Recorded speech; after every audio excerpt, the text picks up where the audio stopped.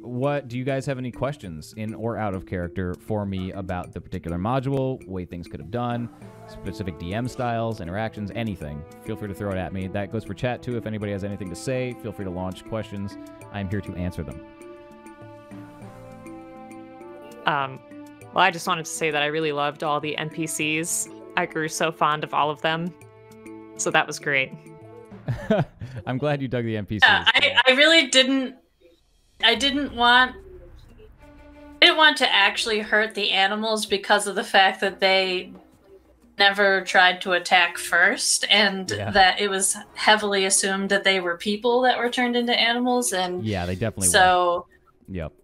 I was trying to, you know, the knocking them over, knocking them out, and everything. I, I was just like, eh, I don't know if I want to like, you know, murder them because it to me it seemed like they probably were victims in this circumstance. But Yeah, so May they not have been. They weren't but- actual victims. No. First, Rylard says Dragon's last thought is it's slayed by a great banana sword. How did she know my allergy? How did she know I was allergic? um, when Finky says, "Where's all the rum gone?" Vivian says, "Why do you make me with identify with a being in game only to have them viciously destroyed to sad music? Is everything okay at home? Yeah, everything's fine at home."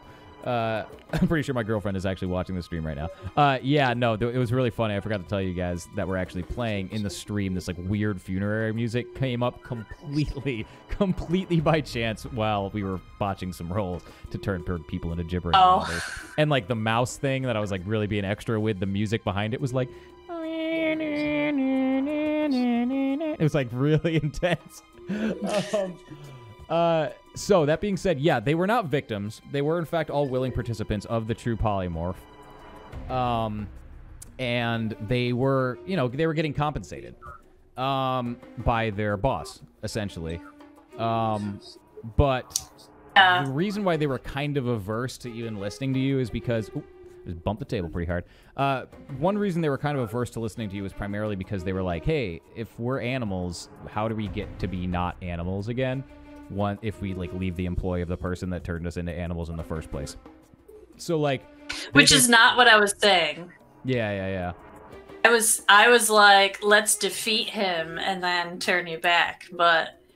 Uh, but I have a terrible charisma, so I wasn't Yeah, gonna really be able to make a good persuasion roll on that one. So yeah, and also it would have been it questionable. as mostly served as a distraction. So Well, we found that later you guys were able to effectively enough use that wand of true poly- polymorph, which is actually an, yeah, astounding. But that Yeah. being said, uh, it was. It's not knowledge that I think they would have had. They they know him as a great wizard that turned them into animals, and you're just like somebody with an axe. It's like I'll turn you back, promise, wink. And they're like, "Mm, no, no, totally fair, I don't totally about- fair. I don't know about that. um, yeah. What else we got? Anything else? Um, so all those animals did run away. What happened to them? Oh, well, I imagine they probably went to a rendezvous with Noke. is my guess. And Okay. let's talk about maybe Noke took off. He was super bummed that he lost his wand of true polymorph, but it, he was thankful that he escaped with his life.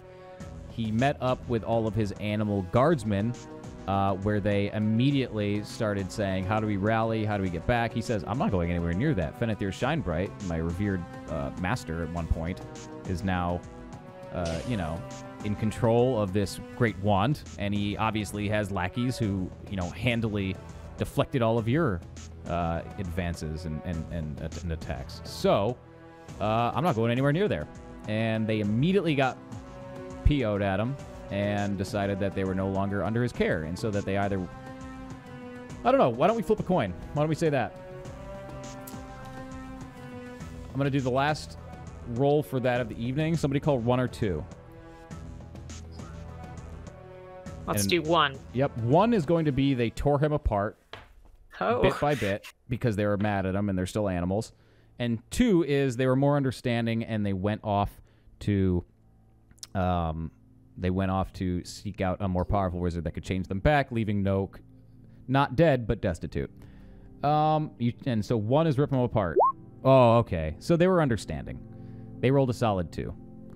Um having rolled a two, they left Noke to his own machinations and he survives for today. Um, and they went off to go find other powerful wizards that might be able to change them back. Who knows? Maybe they'll find Finethir at one point and decide to grovel and, and see if they they can get some of that good juju magic. I What like else? that ending. It matches our uh, passive. Uh, Yeah, yeah, exactly. Yeah, I, I am interested though in how things would have been different if we were like more violent, like a group of people who Yeah. just have like defended ourselves and killed Sh- animals or tried to. Totally. I might have been. I'm sure it would have gone very differently. Yeah, so it's kind of assumed that this is like like D and D is like a it's like half strategic like tactical combat sim. So like mm. it's assumed that you were just gonna say screw it and get tired of the half orc and start whacking them. But I love that you guys kind of like emotionally bonded with him because that made it way more interesting. It was assumed that he was gonna not give you an option and say uh, forget it, I'm taking the sheep then and like attack you. But you guys were doing such a good job of like coming up with weird narrative stuff that would keep him Mhm. engaged that I was like, I can't. I just can't. So you were supposed to kill him or chase him down, basically, getting the sheep. Um, he was going to give that exposition about how he was changed into a sheep way earlier. And then you guys were basically going to be doing like a standard incursion, little dungeony crawl type thing to get into these platforms, meet up with Noke. And then Noke was basically supposed to run from you using Expeditious Retreat. Uh, and once he ran from you, he was going to go into his bed and look at the largest and scariest thing that he found, which was his bed or his bedroom, and, and see his bed and true polymorph it himself into the bed dragon. Now, that was just too, like, off the wall, insane thing to not include, so I decided to just, for flavor, kind of throw it in at the end with the ricocheting true polymorph thing because you rolled a critical That, that worked really well. yeah, a critical check on your your sleight of hand to steal it from him, which was like totally not to be an intended thing. Like I shouldn't have just put it on his waist, so then I had to make up ground and be like, "Oh, okay, you grabbed it, but it like went off and like this, that, the other thing." So that was, I mean, uh, this went really, really off the rails. You guys actually made things harder for yourself too, because in that first garden tier, there was only supposed to be the apes and a bear. The other Oh. like wolves and the bear and like the uh, like all this other stuff like Guz like weren't even supposed to be part of that. You're basically supposed to have like clipped them already. Like they were out of the picture. But you made that whole process like I had to see to my pants that whole situation with him going to check with Noke and talk with him and then like yeah, that was a tough one. That was fun though. I, but I, liked it though. Like I, I like doing things not the uh, same old standard way. I like to try to find weird ways Yeah. of working around things. Yeah, it took a It's more creative and more fun. I feel like it took a lot to egg you guys into like actually physically attacking a monster. it's like it's a lot of work. Well, well, the monster, yes, it, I was fine with attacking. It's more like Yeah, yeah. The people that were turned into animals was kind of like No, I, under- I understand that. if yeah, they if they were more aggressive and like had come at me, I probably would have yeah, yeah, yeah. that attacked ma- more. that makes sense. Yeah. In in retrospect, if I Yeah. wanted to keep things on the rails, which honestly I think would probably have been less fun. If I wanted to keep things like really on the rails, I would have just had the bear and Guz attack you right off the bat and have him be a much bigger jerk instead of just like a kind of lovable dope. Um, so yeah. What else we got? Anything from chat specifically, other than why isn't the big room rug, rug straight? Who organized this junk? I don't know, man. He's a wizard. He's got other stuff on his mind. You know what I mean? Tidiness probably isn't the top of mind for him. So, um, yeah. Any other any other questions right off the rip? I don't think so. Other than Uh, uh, just a go ahead. Oh, just a comment on because um, I play one shots. I like to sometimes try out new things that I wouldn't normally do. So I tried out a fighter, Mhm. and like there's some things I like about it, and it's uh some things maybe not as much. Like because I I'm used to kind of being like the face or like the person that tries to talk their way out of things, and this the fighter really didn't have any charisma or anything, so it was kind of like uh was just different. But I do like the superiority dice thing. I thought that was kind of an interesting concept and like picking which ones you think will work. And I mean, you'll never know because you never know what the adventure is going to be. So I kind of just picked a couple and they ended up working okay. But Yeah. Some other ones might have worked better, but like you just never know. So Yeah. I think I don't know if I would do another fighter. I, I like I think I like playing the rogue better, but Yeah, fighters know. definitely became because a lot of the things that they did. Actually, yeah, Mint says Battlemaster is bi- best fighter, and honestly, I kind of agree. They did a lot of things with fighters. So essentially, one thing that 5e did was consolidate down a lot of the uh, like customization that they did in 3.5. So I always use Swashbuckler as the example because it took like multi-classing, this, that, and the other thing, like a lot of theory crafting, a lot of like hacking your character, min-maxing, just to be able to be like a proficient swashbuckler in previous versions.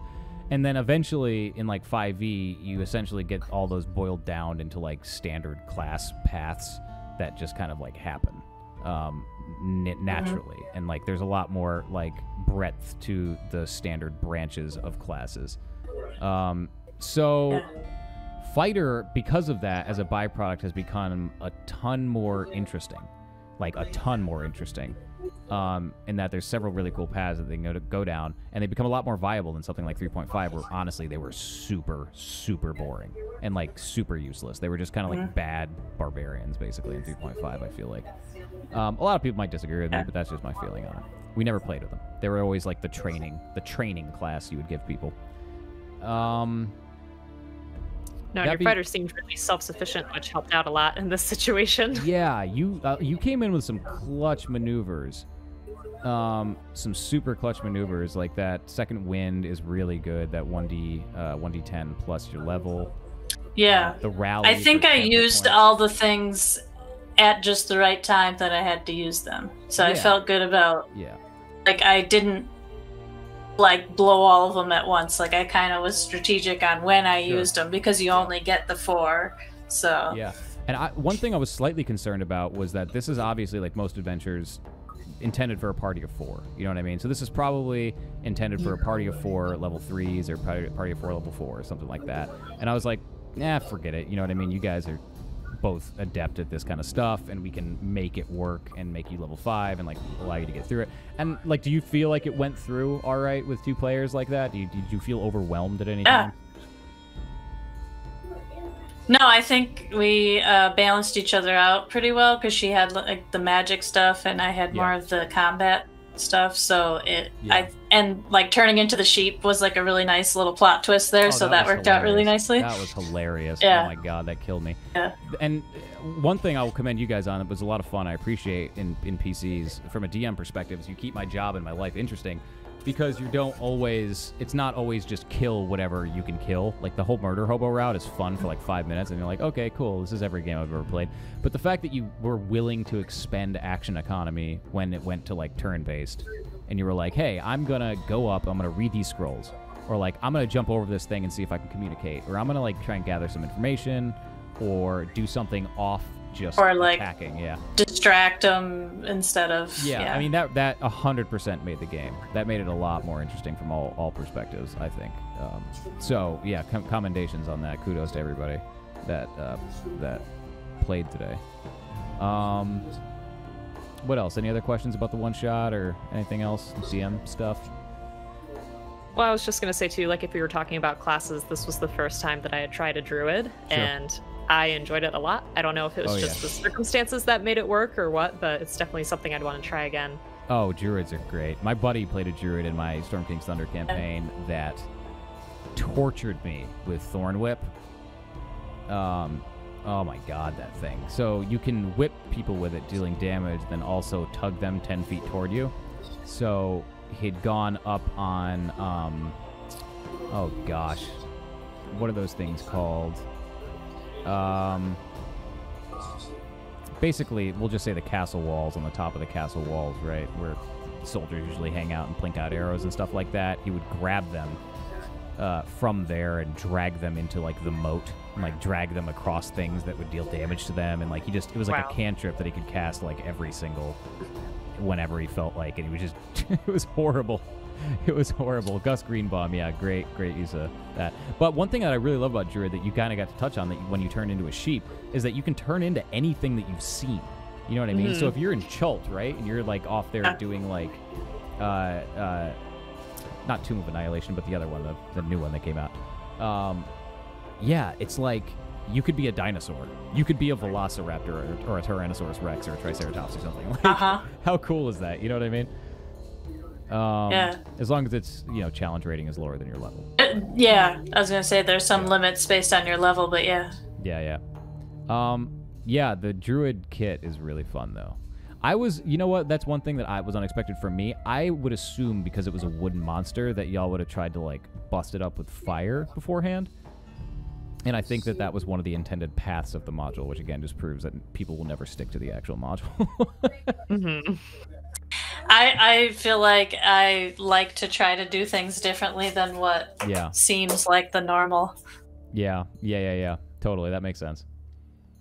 Um, yeah. No, I thought I had a lot of fun though. So thank you guys very much again for playing. Um, unless Chad has anything, unless you all have any other questions or comments or anything like that, I will just say again for anybody in the room, definitely don't forget to check out Oblique's Twitch, which there is a link to in the title of this.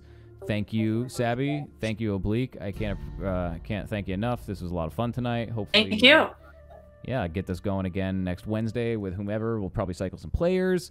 Um, you'll definitely be seeing more of me, and you'll likely be seeing more of Oblique and more Sabby. Uh, D-Gen says I have so many questions, but we can unpack those later. Yeah, you're gonna need to unpack those by yourself in bed at night with your eyes closed, head on a pillow for a while. Get them, get them going, and then and then field them to me. Um, thank you, Rylard. I appreciate good job, man. I appreciate the good job. It's always nice to hear as a DM. Um, I had a lot of fun. I thought this was great, and yeah, I mean, I hope everybody has an absolutely fantastic rest of the evening for all those watching. Uh, thanks for staying around this long. Uh, thanks for checking out the stream. Definitely check out the YouTube and the Twitter, and uh, come back. I stream Monday, Wednesday, Fridays. Not always 100% of that time. Um, of the time does it stay on that schedule, but I, I try my darndest. I'm going to be doing a lot of Baldur's Gate 3 coming up, so um, be sure to check that out. Um, and also, anything that comes from stream is going to be going up on YouTube as well as other unique YouTube content. So, yeah. Let's uh let's cash it out on that positive note. Thank you guys again so much for everything, and I hope you have a fantastic rest of your night. Thank you. Bye. Thanks, guys. You guys. too. Thank you for having us. No problem. Thank you. Bye.